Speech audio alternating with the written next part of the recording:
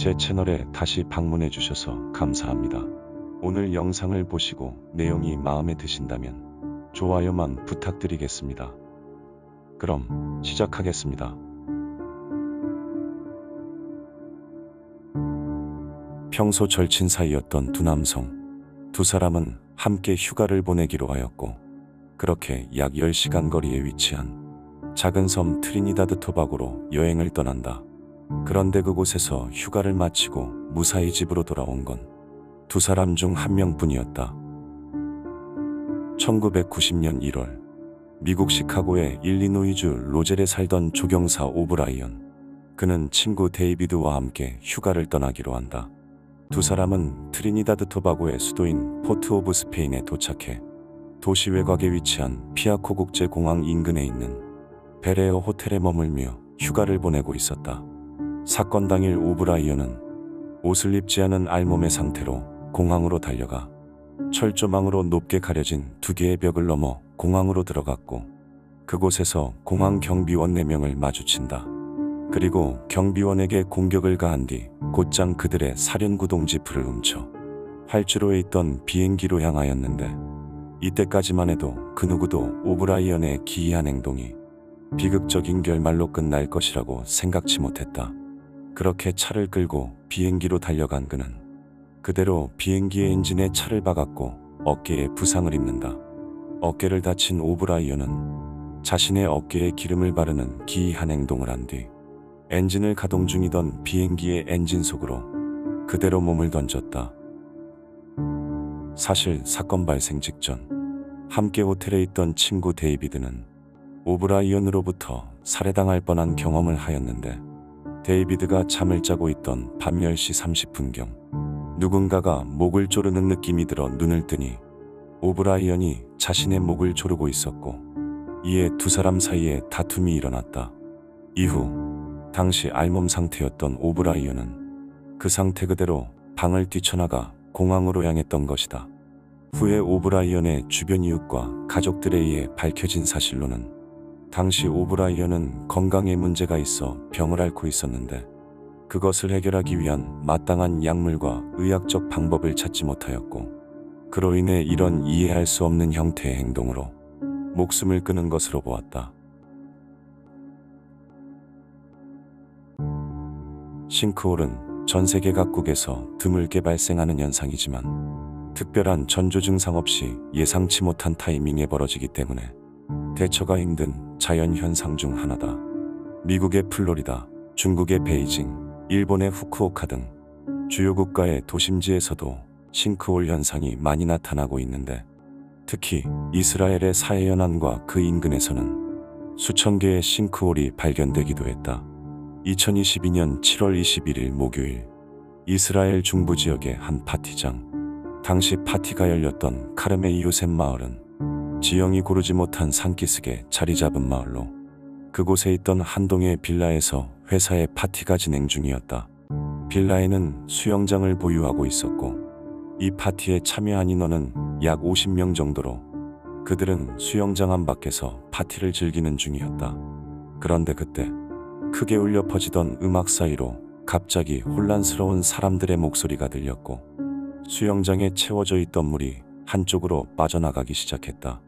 순식간에 벌어진 일이었지만 사람들은 사태의 심각성을 모르는 듯 그냥 주변에 앉아 구경을 하거나 영상을 찍고 있었는데 당시 구멍이 난 수영장 바닥으로 물과 튜브 등 모든 것이 빨려나가고 있었고 그 구멍 안에는 이미 한 명의 남자가 빨려 들어가 있었다.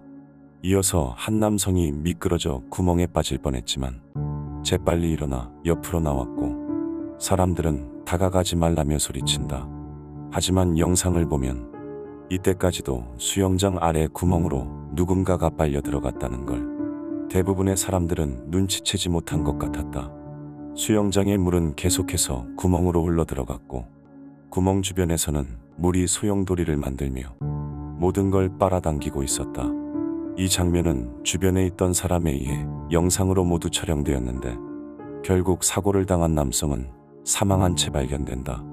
사망자는 이스라엘 서부의 테라비브에 사는 킬김이라는 32세의 남성으로 그는 13m 깊이의 싱크홀로 빨려 들어간 지 4시간여 만에 수색대에 의해 거대한 바위 사이에 낀 채로 발견되었다. 한편 주택의 실질적인 소유주인 나탄 멜러와 레이첼 멜러 부부는 수영장을 주택 내에 설치하기 전 충분한 지방검사와 정부의 허가가 필요했다. 하지만 절차를 무시한 채 허가 없이 불법으로 수영장을 설치하였고 이러한 행동이 인명사고의 원인을 제공하였다며 큰 비난을 받았는데 이후 부부는 과실치사 혐의로 체포되어 법적 절차가 진행 중이다. 이 사고는 안일함에서 비롯된 안타까운 사고이면서도 굉장히 드물게 발생하는 싱크홀 사고 중 하나로 기록되었다. 구글맵은 전 세계 각국의 지도와 위성 사진, 그리고 실제로 촬영한 거리를 상세히 볼 수 있는 구글의 지도 서비스로 세계 각지로 방문을 하고 싶지만 사정이 여의치 않은 사람들이 구글맵의 거리뷰로 세계 곳곳을 돌아다니며 관광을 할 정도다. 이렇게 거리뷰가 상세하다 보니 이를 통한 사건 사고가 종종 일어나곤 하는데 얼마 전 구글맵을 통해 세계를 여행 중이던 한 사용자는 호주 퀸즐랜드의 숲에서 추락한 것으로 보이는 비행기를 발견한다. 이 비행기는 에어버스 320 또는 보잉 737기로 추정되었고 사진으로만 보았을 때는 추락을 한 것인지 비행을 하고 있는 것인지 명확하지 않았지만 만약 비행 중이라면 이상할 정도로 낮게 날고 있다는 걸 알 수 있다. 사진을 확대해보면 비행기의 상태도 굉장히 온전하였는데 이후 호주교통안전국에 해당 비행기에 관해 문의를 한 결과 비슷한 기종의 비행기가 실종되거나 사고가 난 이력이 없어 이 사진은 더욱 미궁에 빠지게 되었다.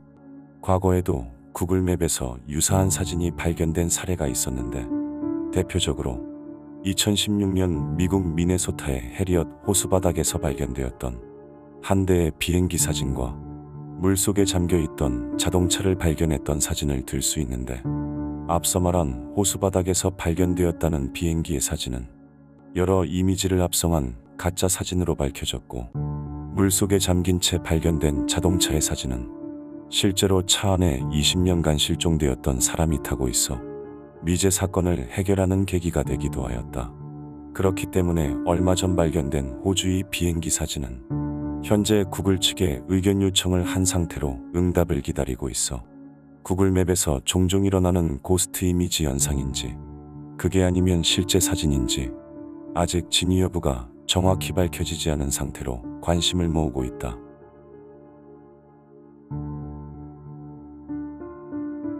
영상을 끝까지 봐주셔서 감사합니다. 영상에 대한 의견이나 보고 싶은 영상이 있으시다면 댓글로 남겨주시면 감사하겠습니다. 감사합니다.